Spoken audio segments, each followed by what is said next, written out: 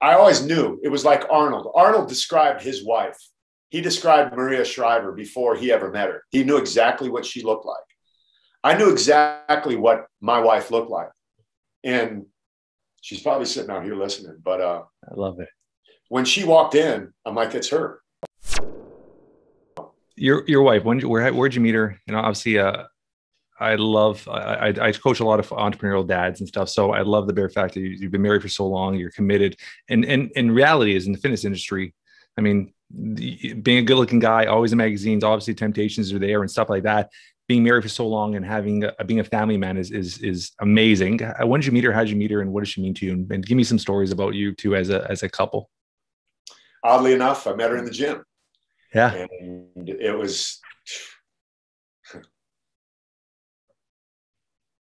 uh, you might get me crying here right now. No, that's all good, man. Because this is this is authentic. I love it because it, is. Is, it shows it shows who you are, and I love that. Yeah, I don't give a shit what anyone thinks. You know what I'm saying? It's it, but it it it, it makes me reflect on what we've been through. You talk about give me some scenarios of your life. Yeah. You know, you're with someone for 36 years. Yeah. You experience a lot. And in the later stages of marriage, when your kids start moving away and you're faced with each other, you you face challenges that really test your resilience of being someone who is true to a commitment you made to somebody, especially when you start changing as a yeah. person, because we all evolve. We become a different yeah. version of who we were at 23 years old when we met.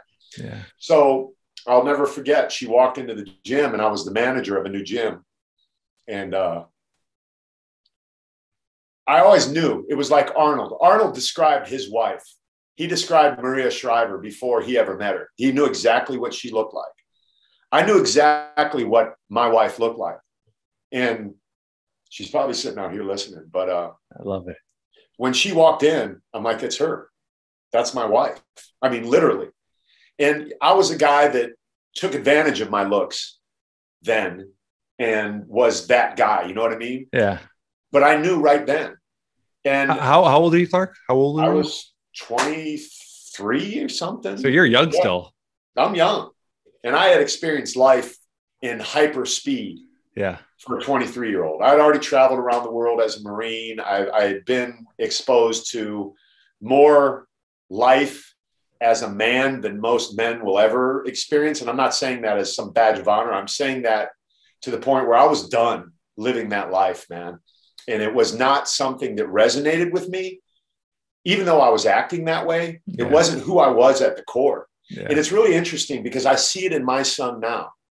I watch my son. He's not a promiscuous guy. He's good looking. He could get any girl he wants. And i look at his peers and i watch how they behave themselves and i sit back and i look at my son who was the quarterback in college good looking guy but he wasn't that guy and I'm like, I'm so grateful that he got that part of me, but he didn't even go to the lengths that I went to. But when I saw my wife at some point in the process of us getting to know each other in that gym, I was standing next to a friend who is my manager. And Anita is her name. She was standing across the gym on a scale. And I said, See the girl over there on the scale? He's like, Yep. I said, I'm going to marry that girl one day. And I'll never forget, he elbowed me and he's like, you get married, bro, that'll be the day. And we have been, we had our first date at his house, and we just ran into him at a concert just a couple years ago before COVID happened and all that, where he's married to the same lady that I introduced to when Anita and I went out. Anita went out on uh, our first date. So yeah, that's that's crazy. Yeah, and, and she's been a very supportive person in my career. Can you imagine, like, you even tapped into it? Can you imagine being married to me? Yeah. Like, I've been all around the world modeling with beautiful fitness models. I've been on cover after cover after cover with girls. And the only thing that you have in your mind is a picture that you see on whatever, a magazine, and then you start creating these stories in your head. And, and it's it's it takes a strong person to put up with that sort of thing. And as much as my wife is not like actively involved in my business, she's actively involved in my business. Yeah. And I've been guilty of like accusing her of not supporting me when that is so far from the truth, you know? And uh, I'm, I'm learning a lot. I'm learning I'm, so much. I, I, I've been married for going on to 18 years now, and I'm 44, and I have uh, three main companies. But my wife is very independent, and I think she's very much like your wife. She she has that great independence, but she's very supportive.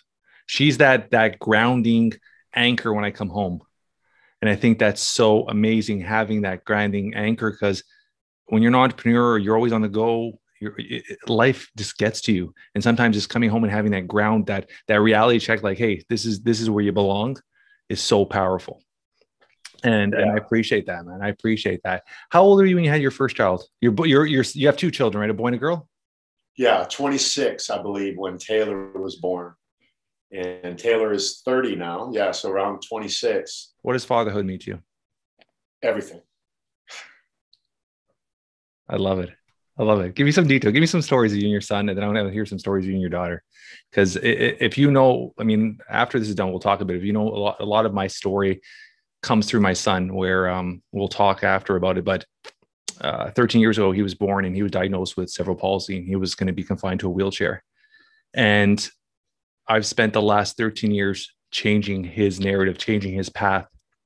And I got him from possible wheelchair to AFO braces to we set a goal five years ago before his 13th birthday, he would run his first marathon. By his 12th birthday, he was out of his braces. By his third, he turned April 19, 2021. 13 years old, April 18th, we ran our first marathon together. And I'm documenting his whole life. And this has been this incredible journey because he's just this angel, this kid. Like I talked to my son, I get goosebumps. He's just this sweet. I call him my puppy. I come home and who's the first at the door? He's being a dog to the door. He's coming give daddy a hug and a kiss every every minute. So Er, fatherhood is, is, a massive part of who I am. So, what does fatherhood mean to you? Give me more details. Give me some stories of your son, because obviously you have a passion there. Because I almost brought a tear to your eye as well. My kids, I often say I'm a fan of them as humans. Yeah, I have two amazing humans that are so inspirational, so encouraging. My daughter Taylor is an amazing athlete, probably the best athlete in the family. She was a track star in high school. She played volleyball. We bought her a camera for a graduation present. She is using a camera still to make her living. She takes photos of women, boudoir photography, but not perfect women, women who need empowerment. So she uses photography to empower these women who feel fat and ugly and unappreciated and outside of the scope of what our Western culture says is a perfect woman. She is one of the most amazing humans ever. And everything she does, she rises to the top. She did CrossFit. They had her competing in two weeks. She did boxing. She just like, I mean, I'm like, Taylor, how are you so good at everything you do? I'm like, oh, because I am. but that was a little side joke there. But anyway, she's phenomenal. She's coming over today, as a matter of fact, and I can't wait to see her. How old is she? She's 30 yeah she's crazy how time flies by oh dude it's it's unbelievable it, it's truly amazing and it's it's so crazy how the last four to five years i i live and i love you said that before i live with zero regrets. And i've always done that for the last four to five years steadily. Like i really focus on it time as a currency because you know it is when you're young time's abundance. When you get older you see your parents getting old everything starts changing. And i just lost my dad eight weeks ago and it's been probably the hardest last eight weeks of my life and and he was my best friend. I was the 44 year old that would call my dad two three times a day. I would call my dad every night to say goodnight. That's who I was, and that's our relationship. So to lose him, it was a sudden, unexpected heart attack. Never smoked, never drank, power walked every day. It just happened, and there was no goodbye. So that's been it's been crushing me, right?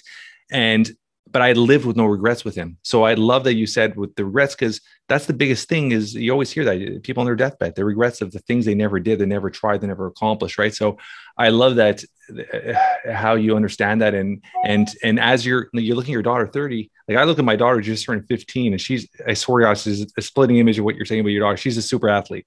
She's the kid that the other day i'm i'm i could run and we're doing sprints and she was just blowing by me already. I'm like how's this kid doing this shit? And it's and it's funny because she's a fin- both my kids they don't play video games they are workout fanatics i do all the posts see my storyline they were they they they're the two fighting for the treble at home. They're the ones doing the work. They're steadily every day they work out. Like December breaks now, and they're like so excited. I left today, and they're doing their workouts together, and they train together. They work out together, which is amazing. I love that. So let's talk about your son a bit. Yeah. So Mitch, that's my buddy, and much like you and your dad, it uh, it's a relationship that both my kids, their whole entire life they've never had a day where we haven't prayed for them from the second they were born to every time I see them, like literally at night. If my son now comes here to spend the night, he'll come in our room and he'll just lay over our bed so we can pray for him. And my daughter too. And it's just such a special thing. And I, I'm so sorry about your dad because I understand that. And Mitch is a guy who is another person who excels at everything he does, but he does it differently. He gets pissed, he gets frustrated, then he digs in and he figures it out and he gets it done. Then he's over it and he moves on to something else. And tonight, much like you and your dad, we spend so much time together. And I think he's now at a place in his life where he's really beginning to appreciate what I bring to his life. He's selling solar door to door. He came to me about six months ago and said, I'm putting a bet on myself. I'm quitting my job. I want to go 100% commission. I'm going to sell do- solar door to door. And uh, I'm going to be the best this company has ever seen. Well, you know how it is. It's hard. And he went four months with no sales and he's out there knocking. And I said, Hey, bud. No, he said, Hey, you want to go knock with me? And I'm like, Let's go. I jumped up, put my pants on. We went out and I am completely different from him. When I play football, I'm, yeah, yeah, yeah. I'm a, I'm a loud guy. When he plays football, he's a quiet guy, but he still gets the job done. So I approached the doors in the way that I would. And it was so neat because I approached the door and he got the, the conversation going. And he said, You know what? I'm learning stuff from you already. As a matter of fact, we're going to go back to a, a house tonight where I approached it for him and I gave him a different look. I said, Here's how, here's what you should say when you go to the door. I said, Hey, did you know there's a screen on your roof up there? Just say that. He's like, I said, Mitch, there's a screen on the roof. If you come in with this pitch, people are instantly going to get that feeling. But if you say, Hey, did you know there's a screen on the roof? Watch. The icebreaker. Yeah. Hey, do you know there's a screen on the roof? Oh, yeah, I know. We've been meaning to get that, but it's so hard. And I got busy and this and that and the other thing. You know what else I noticed? You don't have any solar panels up there. Is there any reason why? Has anyone talked to you yet? I'm sure someone's talked to you, right? You know, and boom, he worked that deal. I went back with him. I babysat the kids playing football with them in the front yard so he could close the deal. That's the kind of relationship I have with my kids. If they say, let's go, I'm stopping what I'm doing. I love it. And I'm getting dressed